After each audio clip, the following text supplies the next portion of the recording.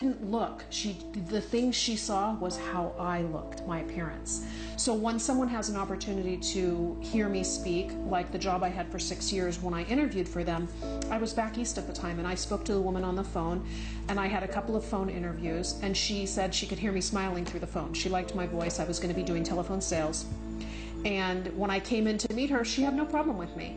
And she had me meet some um, male managers and they went to shake my hand and i told them i don't shake hands for religious reasons and i laughed and smiled and told them it doesn't mean i'm not friendly and they smiled and it was fine they wanted to shut the door for their interview i asked them to keep the door open because it was just two of us no problem and i got the job and I was there six years. I moved up from a sales position to a sales management position, and from a sales management position to a director's position over three departments. So it's not a matter of being a covered Muslim, it's a matter of getting an opportunity to see past the cover. And there's not, you can't guarantee that everybody's going to be fair or just in that. And that's where the problem comes in in finding a job in America today.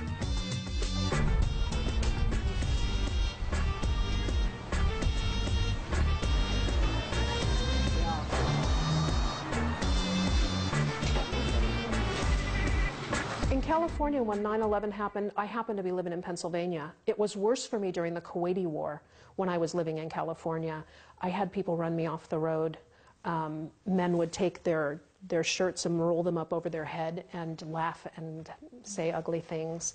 Um, it was bad. The women in the community, in the Islamic community, um, couldn't go out at night by themselves. Um, people were abusive. But during 9 11, I happened to be in Pennsylvania at that time working in a big corporation, and the people were very kind with me. They, they knew me from working with me. They said, Do you want us to take you home? Are you sure you're going to be safe? They were really, really nice. So it was completely different seeing how, I was, how it was handled in the Kuwaiti War and how it was handled in 9 11. By 9 11, there were a lot more Muslims in a lot in a lot of different areas. And I think people start, you know, now they see us and they're like, oh, okay back when I first started wearing my scarf 20 years ago, 24 years ago, I mean, it was uh, mothers bringing their children away from me in a grocery store thinking, I don't know, I have guns with me or something. I don't know what they were thinking. And I would say hi and I would speak in English and they'd be shocked. Um, and I'm like, I'm American. I just dress like this because of my religion. Don't be scared. And I would try to talk with the kids or the parents. Some people were understanding, some people weren't. But um, it was very different when I first started wearing my scarf because there weren't large Muslim communities. Today, it's very different. You find Islamic stores, you find markets, you find people, you find communities where, you know, it's so common that people don't look twice. They're, you know, it's like, okay, whatever. So yeah. it's, it's a very different world today than it was 20, 24 years ago. أعوذ بالله من الشيطان الرجيم بسم الله الرحمن الرحيم I started learning about Islam from an Arab speaking gentleman um, who was translating from from Arabic material into English material. So they had very few people in California when I embraced Islam in our community, and then the community started to grow. So as it grew, um, and we, they reached out to other, um, I guess, chapters of the Association of Islamic Charitable Projects, AICP, the organization where I learned from, they sent me to, to someone who spoke English and had materials in English, and they retaught me about the Tawheed and the Fiqh. And then um, I took that material and I started teaching. And then over the years, I've helped edit um, the summary of the obligatory knowledge in English. I've worked on several documents for our association on the editorial staff, so I've learned from many people, um, especially Sheikh Samir Al Qadi, who was um, living in Pennsylvania at the time that I was there. So for five straight years, we got Islamic teaching. I've been teaching Islam since 1988 to non Arab speakers, and I teach them the Tawheed and the Fiqh so I teach them the basic belief and the rules of the religion. And I've been doing this, like I said, since 1988. I've had large classes, small classes, one on one. I've done it on the phone. Um, today, I teach two classes. I take one class and teach two classes. So I have um, some college girls that I'm teaching now. They were um, raised in an Arab home, but not a Muslim Arab home. So they never learned their religion until um, their 20s. Assalamu alaikum. My name is Hafsa and I'm living in California. I'm planning on getting a bachelor's degree in biochemistry and molecular biology by 2013, and I plan to go on med school after that, inshallah. I met Kokab um, when she started teaching me Islamic lessons, and she's a very friendly, mashallah. She's a great woman, mashallah. She's very happy, always smiling. Yeah. I think it's pretty spectacular that Kokab, as a Muslim convert, is teaching me, a person who's born Muslim, Islam. It's a real accomplishment for her, I think, mashallah. And inshallah, from the knowledge I learn, I'll teach other people someday as well. Assalamu alaikum. My name is Layla Divini. Um, I was born and raised in California, and currently I'm teaching, but I'm going to be going to graduate school next year. I first met Kaukab because we were interested in taking lessons about Islam, and um, she became our Islam teacher.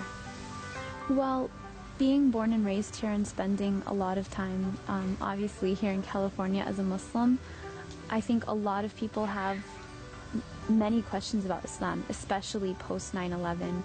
They want to know a lot of information. I think a lot of people are apprehensive and it takes time for them to get used to the idea of Muslims being part of American society. Um, I think that American society is composed of not just one religion but many religions, and people are more interested in, in learning more rather than um, fearful, I think, for the most part.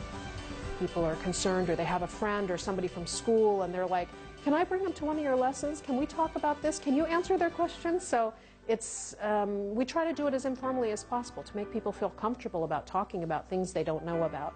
So um, teaching the religion is a rewardable deed. So anytime you have the opportunity to do it, it's good.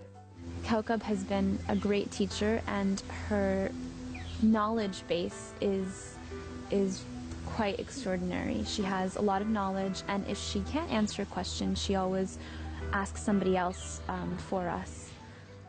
I also teach uh, a married, a young married couple. The um, the girl has been Muslim for quite some time, and her um, her husband embraced Islam recently. So I've been teaching the two of them together. So she's reviewing and he's learning, and it's a really nice experience. I, I enjoy teaching them. So I teach two classes. I teach them at the Islamic Center in Anaheim, California, and I've also taught lessons in my home. I've taught lessons in other people's homes. So it's been a long period of teaching. Sometimes I have more classes than other times. I've known Kokab since uh, I was seven years old. Um, my friends, my uncle, my family, they were all her friends also. She, uh, she came um, in to join us and uh, we took lots of uh, care and support of our Muslim community. Um, I've always went to her house, uh, you know, helped her with her kids. Before that, I, she taught me.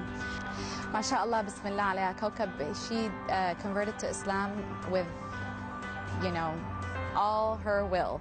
She uh, taught, she learned, and she always wanted to learn more and more, and never gave up.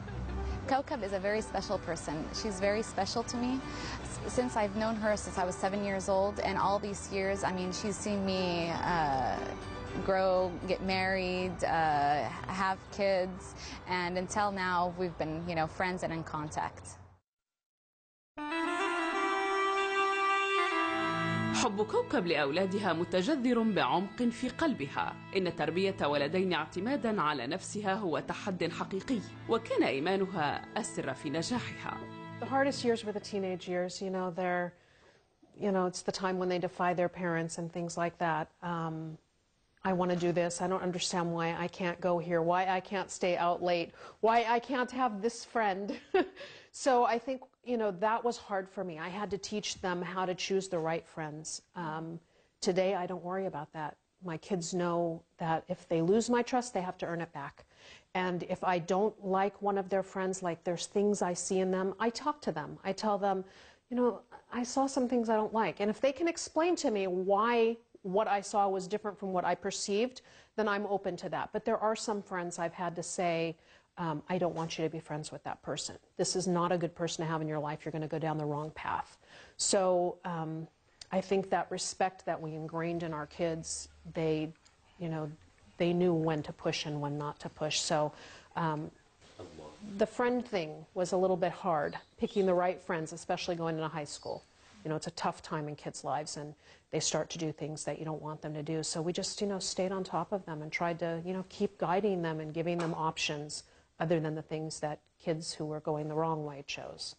So yeah, teenage years because they're rebellious.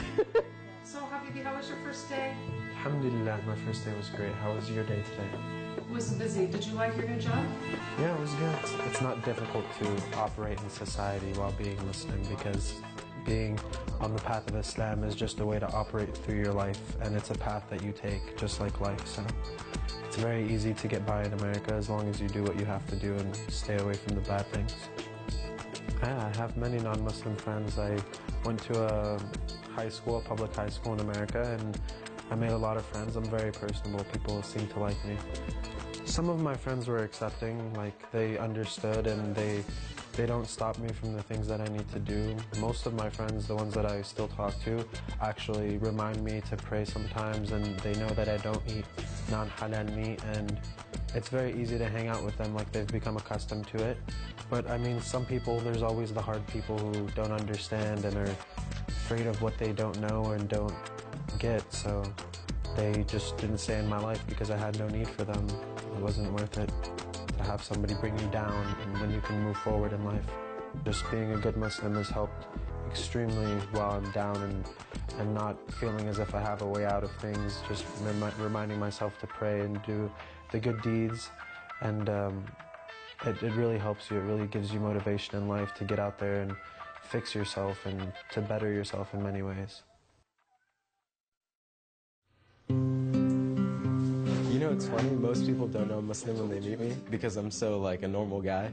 So um, like later on, they'll find out like I'll say something or I don't eat this or I don't do that, and they'll be like, "What do you mean?" And I'll be like, "Oh, I'm Muslim," and they'll be like, "No, like no one believes me." So, but um, and, and they accept it like immediately because it's such a non-issue because I act like them so much that it doesn't like register. Like I don't come wearing a turban or like doing like siwak all the time in front of them, so they're not like surprised. Like they're just a regular guy. Living in America, there's a lot of things to do. You can have a lot of fun. There's there's so many things you can do. So um, we always end up going to the movies or going to hang out with friends. We have dinner, this, that, hang out with Muslims, non-Muslims, and it's it's not a big deal because as long as you don't go to a situation where like inherently there's haram in it, then you're good. You keep your heart pure and you keep the situation you're in good, and you're fine. When someone's not a Muslim, you always feel like there's that that emptiness, and so like when they when they see it in us, they're like, oh, like even other Muslims, because me and my friends like we follow more than most people, so they see us and they say like, like you guys are so good together, you're good friends, you do this, you do that, you always advise each other, so they they want to be like us, and it's cool. It's it's a really nice environment to be in, and it's it's nice to be like the person you are all the time. The way I was raised is the way I'd like to raise my children. So um, I think that, you know, as long as I find a woman who's as good as my mom or better, and I turn out like my parents, then inshallah I'll raise my kids just fine. سلام هي حتى مطلع الفجر صدق الله العظيم Sayyidina Ali said like that people are asleep, like most people are asleep, and when they wake up, like when they when they die, that's when they wake up. So I think like if you can live your life as if you're awake, that's the best thing you can do, and Islam is what provides that. If you really follow the religion, then you can be awake all the time.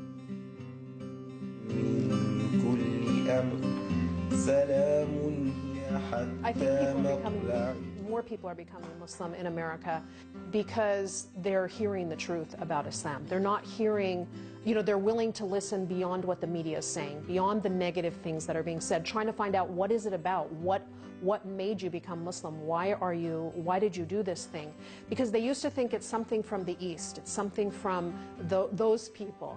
And now when you see, you know, blonde hair, blue-eyed people becoming Muslim, you see, you know, like your neighbors are Muslim, you see so many Muslim people, you're like, what is that? I think that's why. I think it's the, the era of getting knowledge, of being willing to talk with people instead of fearing them. I'm very happy to be Muslim. I'm very happy to be in America as a Muslim. I don't feel um, uncomfortable with being Muslim. There are things that are difficult, like finding work, especially now. Um, it is difficult for a Muslim to find work today. Um, but I don't regret ever becoming Muslim. I don't regret raising my children Muslim or being a practicing Muslim walking in the community. It doesn't, it's a, it's a good thing. It's not an unhappy thing at all.